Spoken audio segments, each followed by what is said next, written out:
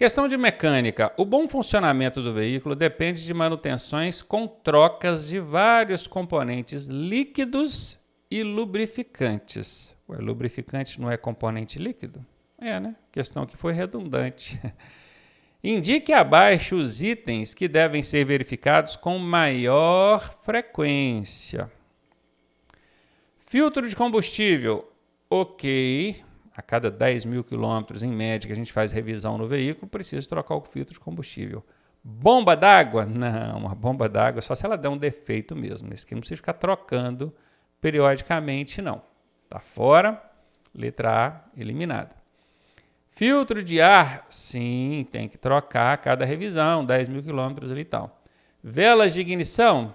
Não. Velas de ignição só se elas começarem a apresentar problema mesmo. Então, isso aqui não é trocado a cada revisão, não. Letra B está fora. Nível de óleo é uma coisa que a gente observa. Água do sistema de arrefecimento. Calibragem dos pneus, sim. Inclusive, esses três aqui a gente olha diariamente, né? Pode dizer. Provavelmente essa vai ser a resposta.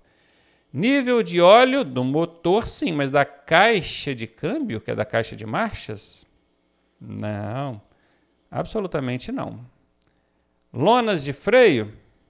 Também não é trocado assim a cada revisão, não. Até troca-se com frequência, mas não, se tiver que escolher, se tivesse que escolher entre lonas de freio e esses três aqui de cima, disparado, nível de óleo, água e calibragem dos pneus, isso aí é frequentemente mesmo, é praticamente todo dia. Tá? Letra C a resposta.